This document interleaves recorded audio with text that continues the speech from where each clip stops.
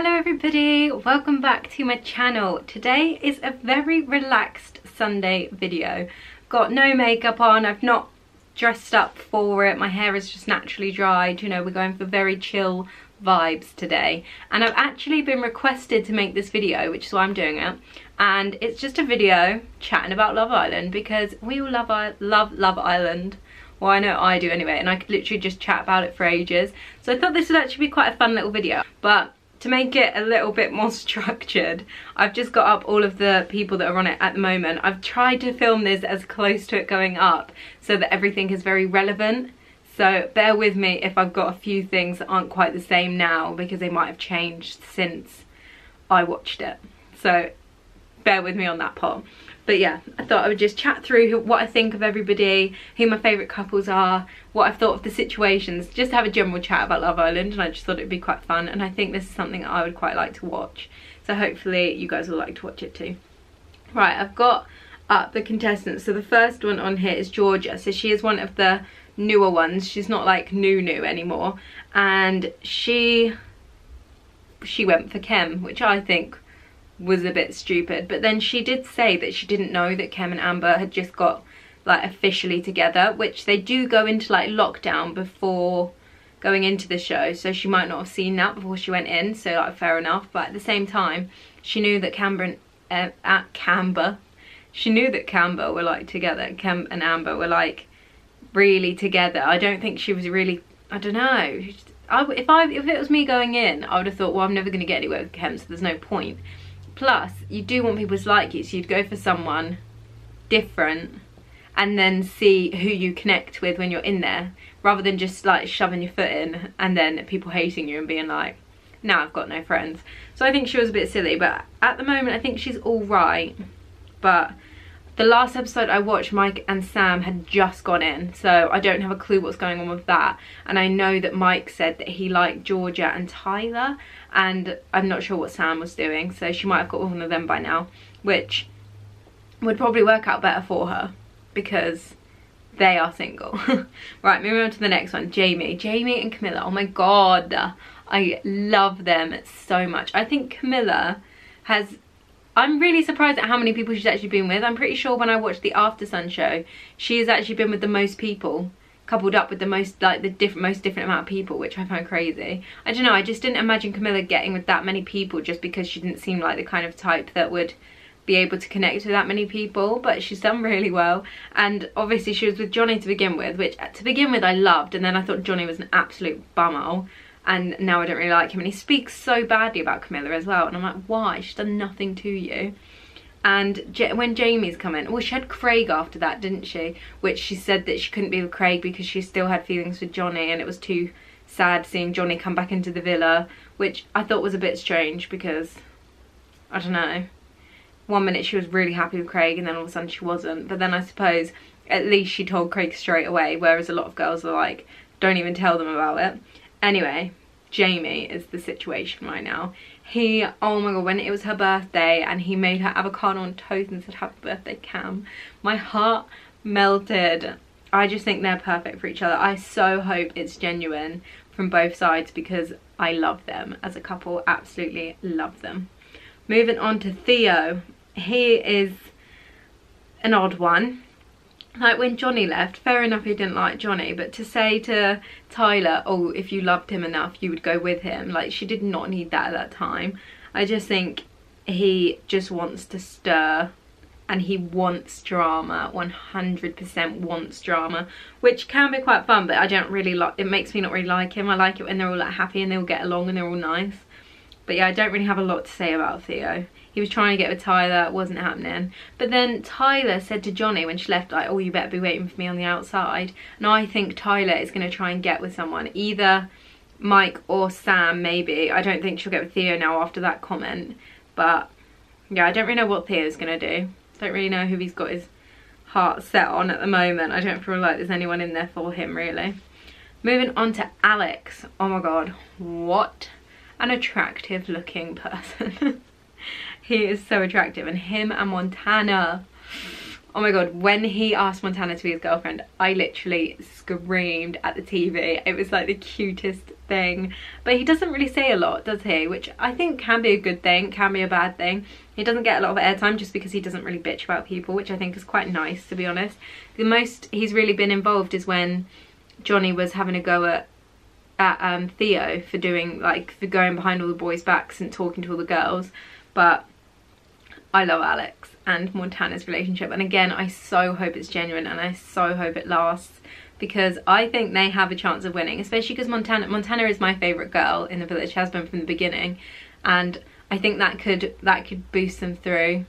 They, they're in my top three of who I think could win it, Alex and Montana. I just hope it carries on because they're so cute. Right, Gabby is next on my list. I really liked Gabby and Marcel to begin with. I thought they were like the really strong couple. But then when she started doing the little messaging thing on her phone to Marcel saying, oh, Montana and Alex are trying to steal our roles, asking people if they want to chat and stuff. I was like, steal your roles? What? Like, you're just trying to be nice, surely. And when she got upset because no one was picking her to go on dates, I was like, you're in a relationship with Marcel. Like, why does it matter? Like I get that it can probably be like oh no one's picking me but then if they know that she is in a relationship with Marcel that's gonna make avoid people off which it should because she's in a relationship with someone so the boy shouldn't be like oh, I'm gonna try and split up a relationship. So I didn't get that at all. I just thought she was being very actually it almost annoyed me because I was like you're with Marcel. Marcel is so good. Don't hurt him. I think Marcel's just got a heart of gold. And Gabby I'm not sure on her anymore. I think she's a bit she I think she's almost she wants to win and she thinks her and Marcel are a good way of winning and I think Marcel likes her more than she likes him which is sad and I, I hope I'm wrong but that's my opinion on them. Coming on to Chris, he is one of my favourite boys. In fact, he probably is my favourite boy. I just find him hilarious. When him and Olivia first got together and they were just like, the way they talk to each other and she's like talking to him and he's like, oh, would you just shut up and let me speak? And I just find them together hilarious. I just think they're so funny, the way that they like shut each other down all the time. But I feel so bad for him recently because what's just happened for me is Olivia has been saying to him like I don't think it's gonna work and they've like ended it then they had that massive argument in the dressing room which was all a bit silly and Chris was just sorting his hair out so the camera battery just ran out well I say just, it ran out a while ago. I had to stop, charge it and now we're back again. And all I remember is I was talking about Chris because I left this up on my laptop. So we were talking about Chris and Olivia and the fact that they'd just broken up and I like my heart was breaking when he was crying about it. I think he is so genuine towards Olivia and I think Olivia was making like a mountain out of a molehill. Like I don't really think she had that much to I don't know, I just think she's very confused and she's not sure if she can get better. You know, she's not ready to settle because she, do, she doesn't want to find someone else and think that they'd be better. And I think she always wants what she can't have. That's what it seemed with like the whole Mike and Chris situation in the beginning. So I absolutely love Chris. He's probably my favourite guy, as I said just a minute ago. Or, yeah, as I did say. So I think I don't know. I really want them to work because I do love them as a couple. I think they are suited and I think that they are very similar in the way that they like talk to each other and things but I just think she needs to be more like in it. She needs to be like 100% for Chris and I just don't think she is at the moment which makes me so sad because I love Chris. Moving on to Johnny. We've already briefly touched on Johnny but not his biggest fan at the moment, no. I think the way that he is with Camilla saying that she like stopped him from being himself and now he's so much happier and being with Tyler has just made him be more himself and things like that. I'm just, I don't know, Tyler's getting, Tyler like sort of ended it with him anyway, didn't she? And then didn't because when he left they were like back together again. How did that happen actually? I know she was saying she was getting bored so that's what makes me think she's gonna go off with someone else even though she said to Johnny wait for me on the outside but she was getting bored and yeah Johnny's just I don't know I find him a bit boring and a bit he seems very jealous and doesn't really he just doesn't really join in with much he just did seem quite boring recently and you don't really see it well he's gone now but you didn't really see a lot of him in his end days so I don't really have a lot to say about Johnny he just annoyed me the way he talked about Camilla and I thought to begin with he was so nice with Camilla. But people change. People's true, true colours show. Now we're moving on to Marcel. Again, already briefly touched on Marcel. Marcel is just, he has a heart of gold. He literally is so nice to everyone. He is like the person you would want as a friend to go to advice for. He's just so lovely. He's so like bubbly, joins in. He loves Gabby so much. Like you can just see the way he like, he just loves Gabby. Like just does. I hope it's genuine. But I hope she's genuine. I don't know. I just really don't want him to get hurt. It will kill me if he gets hurt. But loving Marcel. I feel like I don't have a bad thing to say about him. I literally don't. He's just great. I did find it funny though when they were all like split up into the separate villas and he kissed that girl and as soon as he did it he was like what have I just done? Because he just literally rushed into it without even thinking. That was quite funny. But yeah.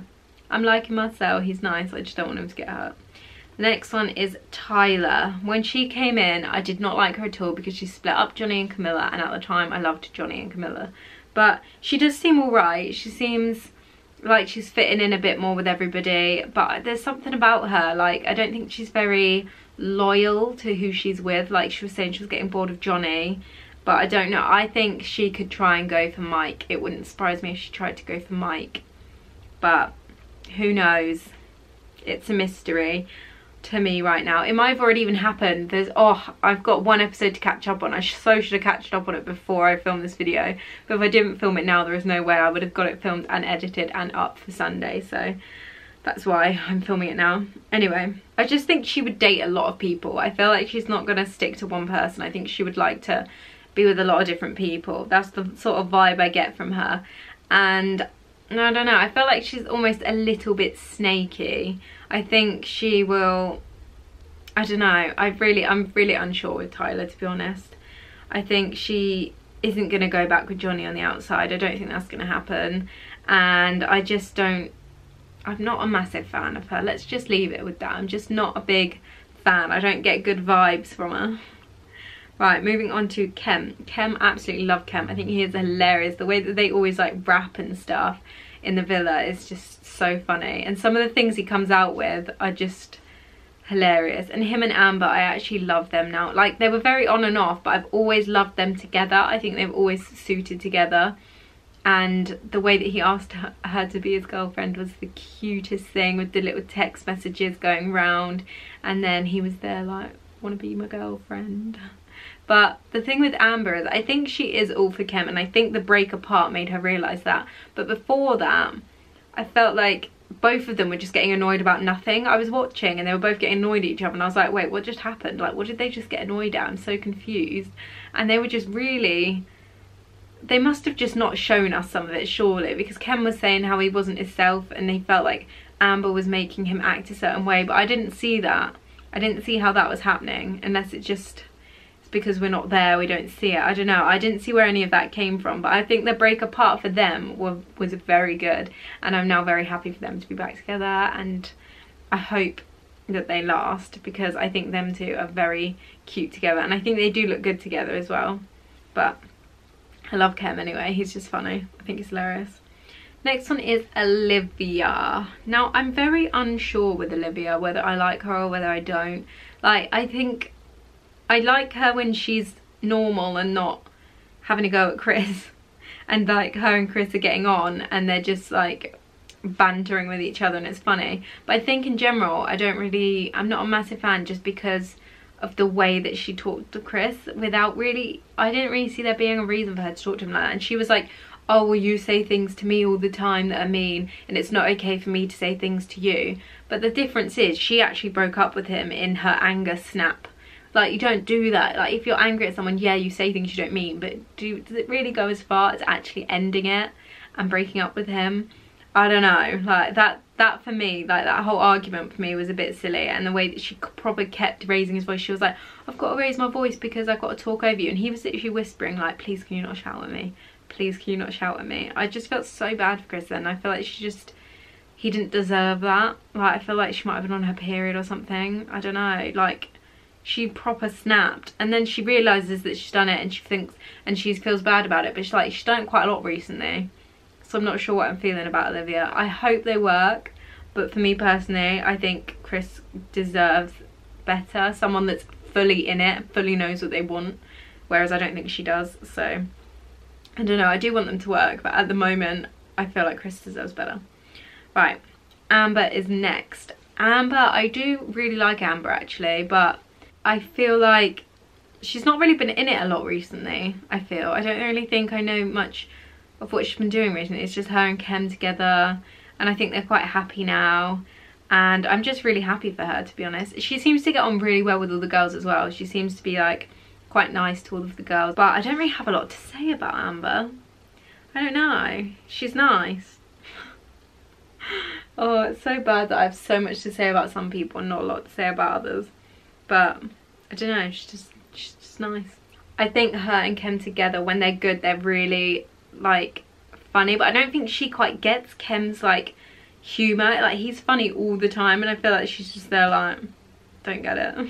but I do like Amber and I like her and Kem together. And I hope they stay together. Right, my camera battery is already flashing again. So we got speed it up. Right, next is Montana. She is my favourite girl. She is so nice to everyone, I, I think. And like, she's so like, to the point like she doesn't go behind anyone's back if she doesn't like something she says it to their face like right in the very beginning she said to olivia was it olivia and sam were talking because they were together originally and she was like oh can you not bring that in on the whole group it made it awkward then olivia snapped at her saying oh why are you being like that? And like that wasn't very nice blah blah blah. But i think it was a perfect thing to do because montana said it as it happened without going behind her back and bitching about it to other people before then telling olivia about it. So i think montana is like one of the most normal genuine people in there. And i just think she's so nice. Like she's just so nice to everyone. And she waited for alex to come in when she then found someone. She wasn't just going for anyone which i again think she, like i think that shows a lot of her personality that she won't just go for someone because of going for someone. She will wait until something's actually right for her. So she's just my favourite, absolute favourite. Next is Camilla. So I really like Camilla as well. Again, she's got a heart of gold. She literally won't do anything bad. If she does anything bad, she feels terrible about it, which I just think is so like sweet and like pure. Like I think she's very pure. But her and Jamie seem to be going amazingly, which I'm so happy about and I just love having Camilla in there. She's one of those people that that I just I would be really upset to see go because I just think even though she doesn't cause drama or she doesn't have like that much going on in the villa does that make sense? I don't know. She's just one of those people that i love having in the villa. I absolutely love it. And her and jamie's like little love story. I hope it continues and see like loads more of it. I just love it. Next one is well all of these ones are dumped ones now I think I'm going to stick with just the ones that have been in there. The last thing I'm going to end on is Jess and Mike and Dom. Oh my goodness. Who thinks that something did happen with Jess and Mike? Not necessarily going the whole way, but I think something happened with Jess and Mike. I hope it didn't because I loved Dom and Jess and the way that Dom was so loyal to her in the house was just insanely cute. So I hope nothing did, but I have this gut feeling that something happened. And again I haven't seen the flipping episode with Mike yet so I don't know if anything's been revealed if, if they did anything. So I'm very looking forward to find that out. But I don't know. I think they're always going to deny it but if something did happen but I think something happened I feel like at least they kissed like at least surely something they seemed so close in all of the interviews and that interview where her hand was on his leg and then all of a sudden the the cameras on her and she like moved it away quickly like that is so suspicious. Come on now. But let me know all of your thoughts in the comments. Do you agree with me? Do you disagree with me? I um these are obviously all just my opinions. I'm not saying these are the right or wrong things to think. These are literally my opinions on the show. I just love talking about it. It's like my favorite all-time show ever. And i just love it so yeah let me know all of your opinions because i would love to have a conversation about it with you in the comments i could literally talk about this all day let me know about the jess and dom and mike situation as well if you agree or disagree with me but i think something's happened i don't know anyway I am gonna end it here. Let me know if you want more videos like this. I love just chatting to the video, to the videos, just chatting to you guys like this. Very casual, just it's just nice it's just a nice little change just to sit and chat about something that I love but yeah hope you enjoyed it if you did, please make sure to give it a thumbs up to let me know that you enjoyed it. Also subscribe if you're new or if you just want to see more videos. There's also the notification button next to the subscribe button so that you can be notified every time I upload so that you definitely won't miss one. There's links in the description to my vlogging channel because I am a daily vlogger as well. Also last Sunday's video